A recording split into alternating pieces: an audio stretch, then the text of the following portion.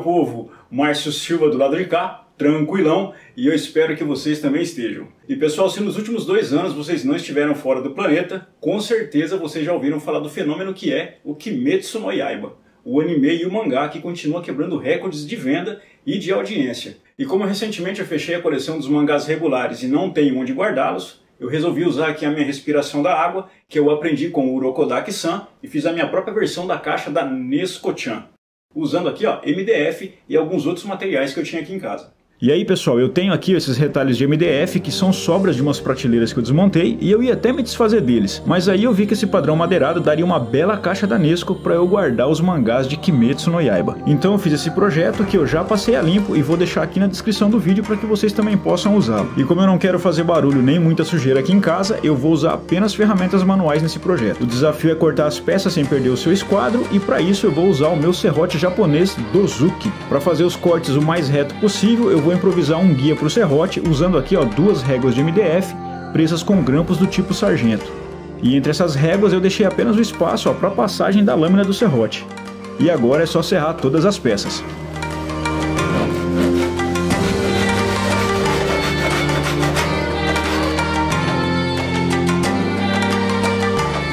E como vocês podem ver, o corte ficou bem limpo e também ficou no esquadro.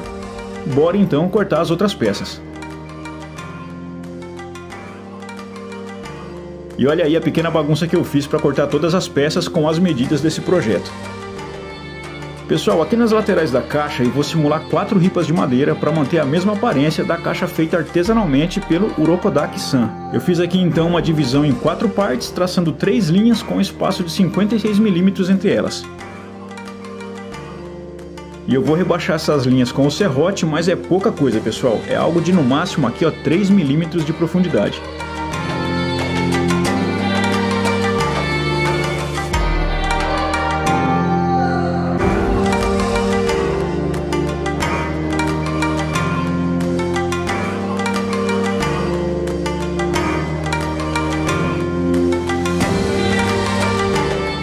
Agora com uma lixa número 180 eu vou limpar esses cortes e melhorar a sua aparência.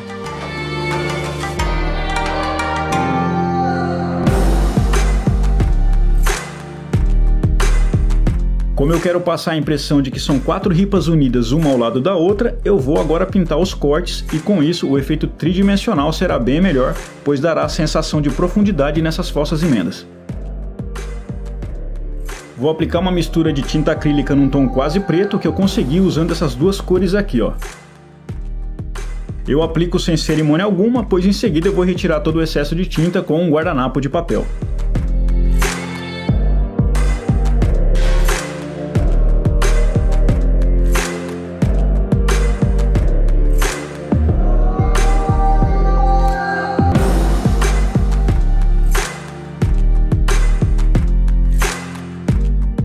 Deixa eu mostrar aqui para vocês o resultado dessa pintura, ó.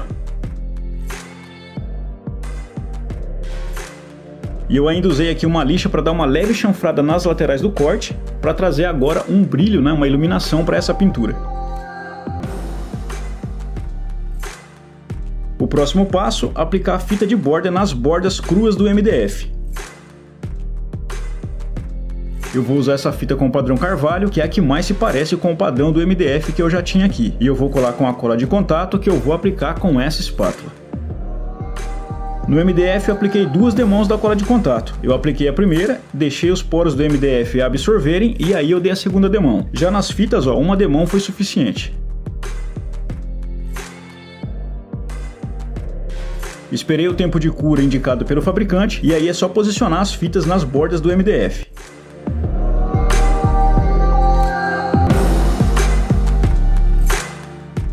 Para garantir uma boa fixação, eu pressiono bem com esse toquinho de MDF em toda a extensão da borda.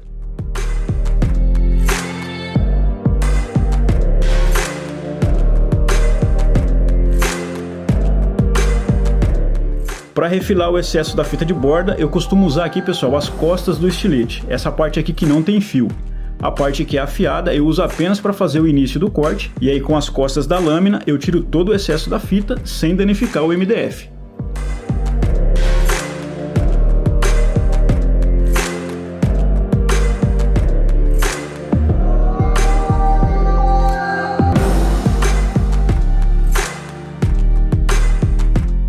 Por último, com o auxílio de uma lima, eu finalizo o acabamento de todos os cortes que eu fiz nas fitas de borda. E se ainda assim ficar aqui algum resto de cola, eu limpo isso com uma estopa umedecida com querosene. Mas é sempre bom lembrar, né? A cola de contato e solventes de limpeza são inflamáveis, então tenha muito cuidado aí e atenção ao manusear esses materiais, beleza? Bora agora partir para a montagem, ó. Eu vou fazer pré-furos para evitar de trincar o topo do MDF.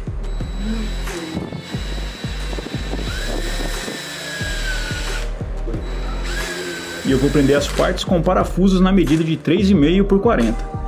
Lembrando, pessoal, que o pré-furo, né, ele tem que ser feito com uma broca um pouco mais fina que o corpo do parafuso. Eu estou usando um esquadro em cada etapa da montagem para garantir o alinhamento correto de todas as peças e não ter nenhuma dor de cabeça quando eu for fixar a porta.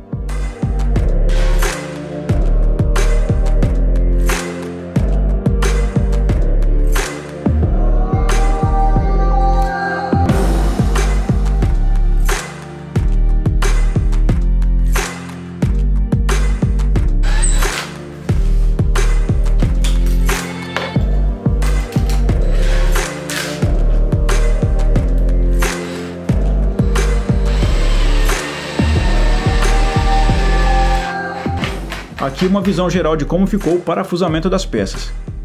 E nenhum desses parafusos irá aparecer, pois todos serão estrategicamente cobertos pelas outras partes dessa caixa, como as suas cantoneiras e tiras. E agora a parte do projeto que faz menos sujeira e bagunça. Eu fiz aqui ó, esses moldes para recortar os ornamentos da porta e as cantoneiras da caixa. Esse é o molde da base do puxador e o puxador eu mesmo fiz aqui ó, usando um pedaço de madeira. E ele vai posicionado aqui em cima. Esse é o molde daqueles ornamentos que ficam na frente da porta. E por último, esse é o molde das cantoneiras que vão nos quatro cantos do topo da caixa. E eu vou basicamente usar a fita de borda e um pedaço dessa plaquinha de PVC expandido. As cantoneiras de contenção que vão no topo da caixa eu vou fazer com a fita de borda mais fina, essa aqui ó, que tem 0.46 mm de espessura. Já para as cantoneiras que vão na esquina do topo e para os ornamentos da porta, eu vou usar essa fita de borda aqui ó, que ela é mais grossa pessoal, ela tem 1 mm de espessura. E essa fita aqui eu ganhei do meu grande amigo Mauro Lima, que é um mestre aí na arte da marcenaria. Eu separei dois pedaços da fita mais grossa e vou transferir os moldes para elas. Em seguida eu vou recortar com a tesoura e dar uma lixada de leve onde for preciso para melhorar aqui o acabamento das peças.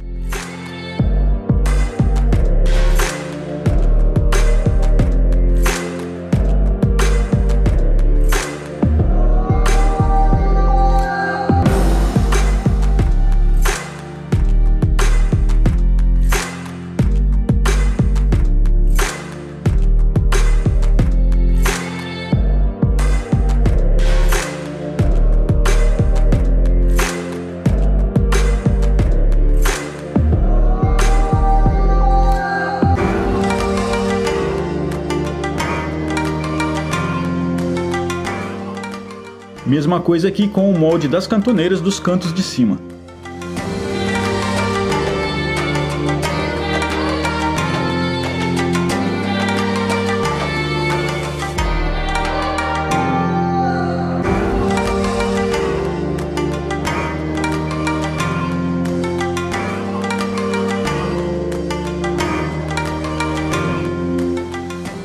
E aqui, pessoal, nessas peças ó, eu fiz quatro marcações, dividindo ao meio tanto na horizontal quanto na vertical. E eu vou usar aqui esse apoio e fazer duas dobras nessas marcas que eu fiz.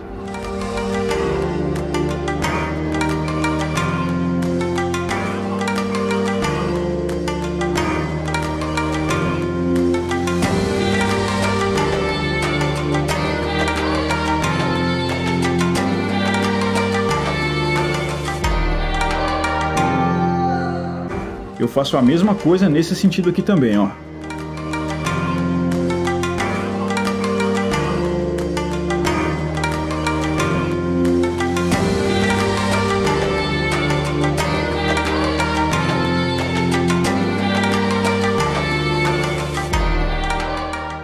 Agora é só cortar essa marcação aqui do triângulo e vocês já vão entender o que eu estou fazendo.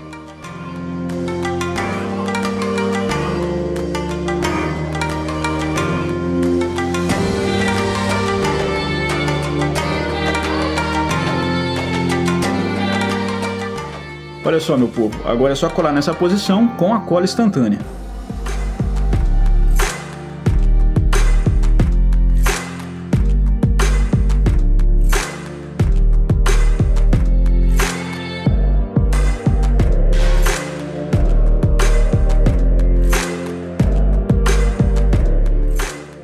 E para garantir que a peça não abra, eu vou colar esse reforço que eu cortei da fita de borda mais fina.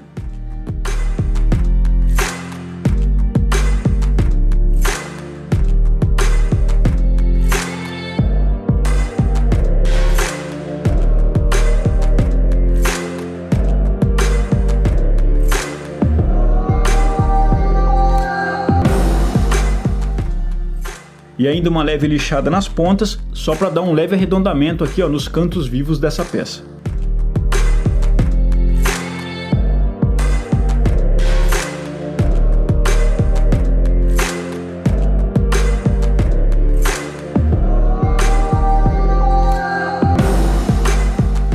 Agora para as cantoneiras que vão nas laterais, na parte de frente da caixa, eu vou usar o PVC expandido e cortar duas tiras uma com 1,5 cm de largura e a outra com 2 cm. E depois, essas duas tiras agora eu irei dividir em 12 partes de 5 cm cada uma.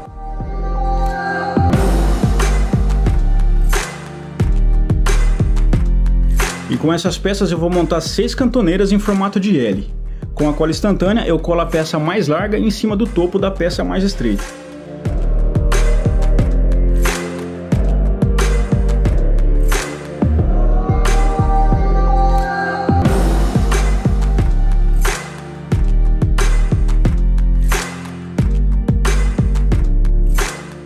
Peças que são os ornamentos da porta, eu vou colar esses dois apliques aqui, ó, para simular os pinos de ferro que as mantêm presas. E aí, pessoal, essa técnica aqui de colagem desse tipo de aplique eu já mostrei em outros vídeos aqui no canal, como o vídeo do calabouço do castelo e do escudo do Faker. E lá o detalhe bem melhor, beleza?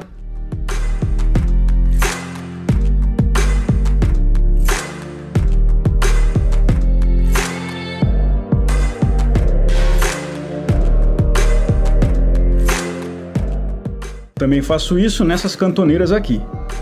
E com todas as peças devidamente lixadas e limpas, eu vou agora aplicar uma pintura na cor preta usando a tinta vinílica. Vou usar a mesma tinta que eu usei no vídeo anterior, onde eu customizei o Rei Grayskull. Aqui eu não sei se dá para mostrar bem, pessoal, mas a textura dessa fita aqui ó, já lembra bem a textura de um metal envelhecido. Então o resultado final da pintura ficará bem massa. E para texturizar ainda mais, eu vou aplicar a tinta sem diluí-la, usando aqui um pedaço de espuma.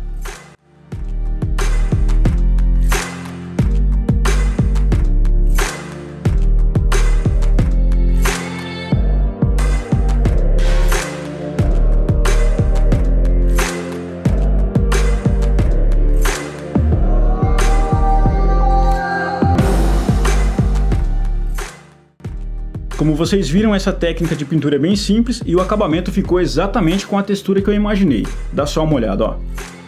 Mas eu vou melhorar isso ainda mais e aplicar agora o Dry Brush. Eu vou de tinta acrílica metálica na cor prata. E a minha intenção, pessoal, com o Dry Brush é dar essas peças aqui a impressão de que elas sofreram um desgaste natural com a ação do tempo.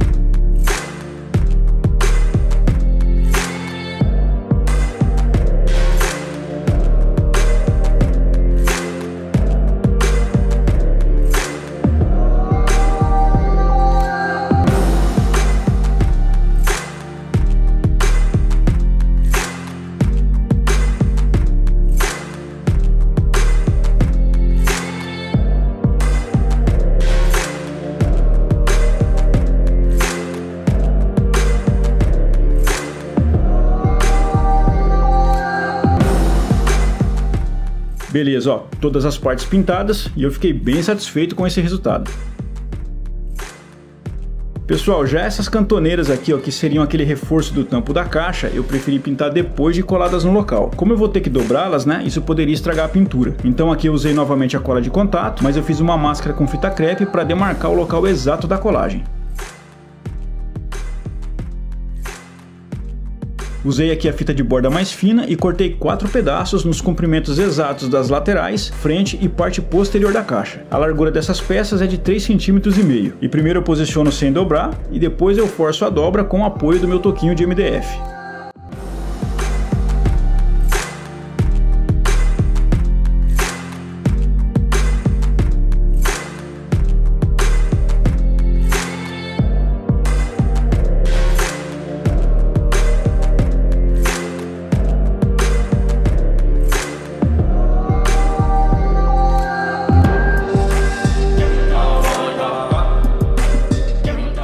As faixas da lateral da caixa eu fiz com a fita de borda mais grossa. Eu cortei três peças com o tamanho de mais ou menos uns 75 centímetros de comprimento por 5 de largura e elas foram coladas ó, com a distância de uns 8 centímetros entre elas. Aqui eu também usei a cola de contato, a marcação com fita crepe e o toquinho de MDF para marcar todas as dobras e pressionar bem a fita.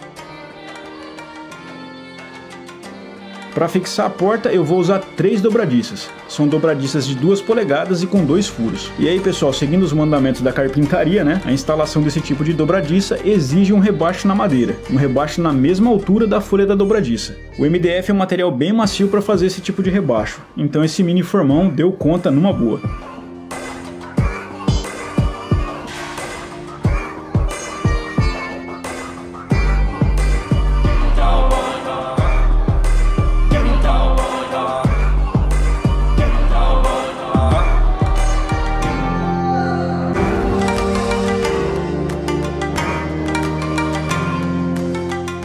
Na porta eu fixei o puxador com dois parafusos de dentro para fora, e os adornos foram fixados com cola de contato.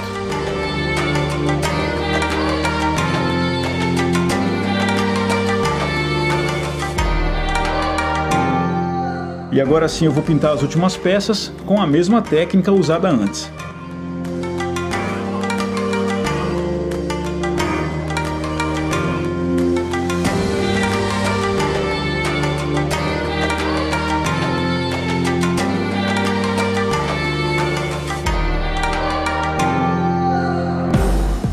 Calma aí pessoal, que agora é a reta final, ó. Fixando as cantoneiras e agora eu vou colar com cola instantânea, tanto para colar as cantoneiras aqui dos cantos do topo, quanto para fixar as próximas, ó, que vão aqui nas duas laterais, na frente da caixa.